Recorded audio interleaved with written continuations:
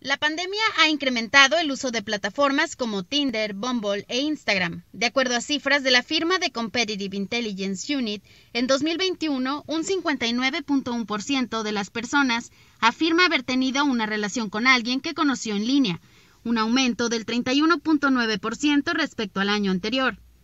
Para este 2022, se estima que dicho porcentaje aumente a 69.4%, a decir de expertos, el crecimiento está relacionado con el empujón digital que se presentó en este último año y que ha desplazado la vida social a un espacio digital ante el confinamiento.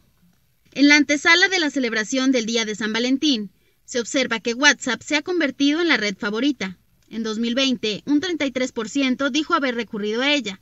En 2021, un 36% dijo que utilizó dicha aplicación de mensajería.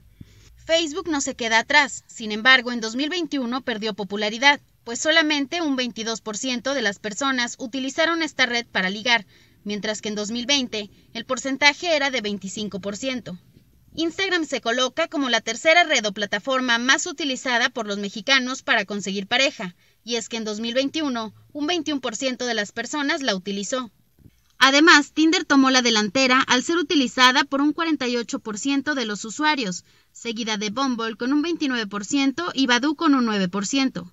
Respecto a la experiencia que han adquirido con este tipo de apps, la mitad de los internautas reporta que las han utilizado y para el 70% de los casos la experiencia ha sido buena o regular. Cintia Salazar, Noticias 28.